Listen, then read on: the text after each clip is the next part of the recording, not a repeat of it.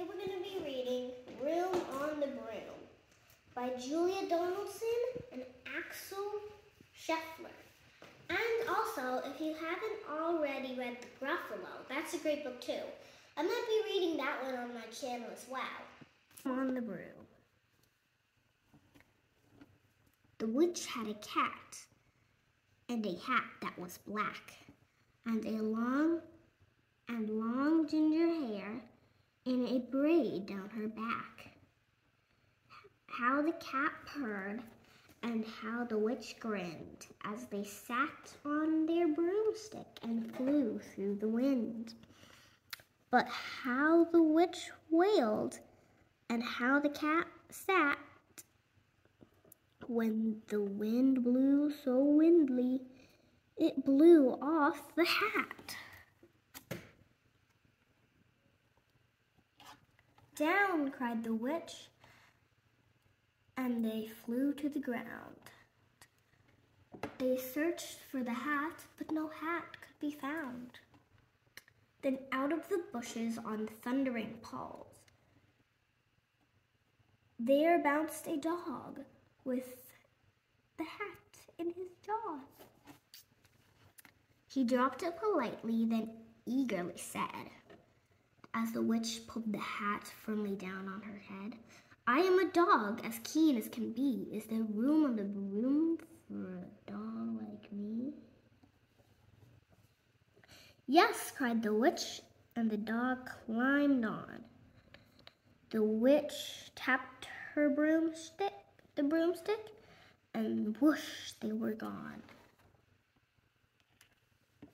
Over the fields and forest they flew. The dog wagged his tail, and the stormy wind blew. The witch laughed out loud and held on to her hat, but away blew the bow from her braid just like that. Down, cried the witch, and they flew to the ground. They searched for the bow, but no bow could be found. Then from then out from a tree with an ear-splitting shriek, there flapped a green bird with the bow in her beak. She dropped it politely and, and bent her head low, then said as the witch tied the braid in her bow, I am a bird as green as can be. Is there room on the broom for a bird like me? Yes, cried the witch, so the bird fluttered on. The witch tapped her broomstick, and whoosh, they were gone. Over the reed and the rivers they flew, the bird shrieked with glee, and a stormy wind blew. They shot through the sky to to the back of beyond. The witch clutched her bow, but let go of her wand.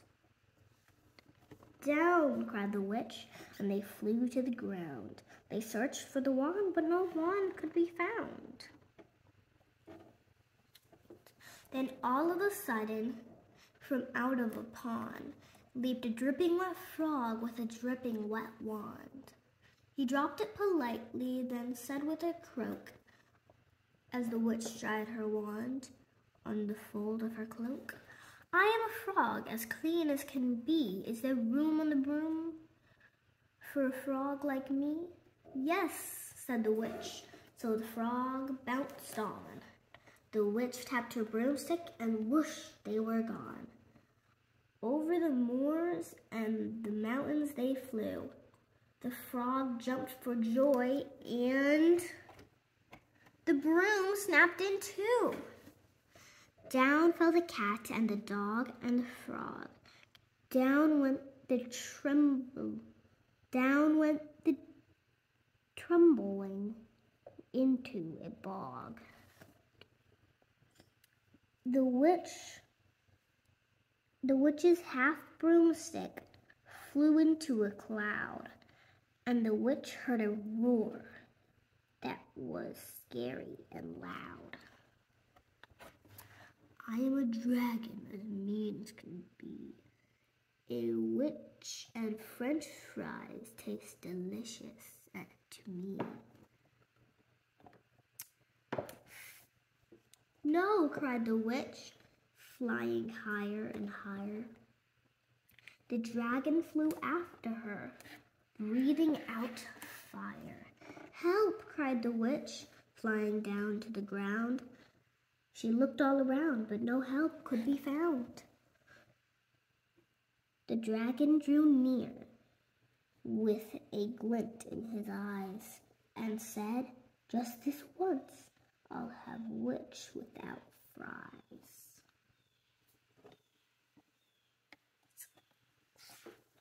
But just as he planned to begin on his feast, from out of the ditch rose a horrible beast.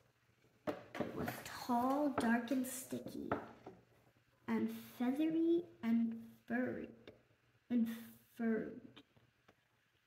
It had four frightful heads, and the wing and it it had wings like a bird. And its trembling voice when it started to speak was a thou and a growl and a croak and a shriek. A shriek. It dripped and it squished as it stroked through the ditch, from the ditch. As it said to the dragon, Buzz off, that's my witch. The dragon drew back and he started to shake. I'm sorry, he spluttered. I, I've made a mistake.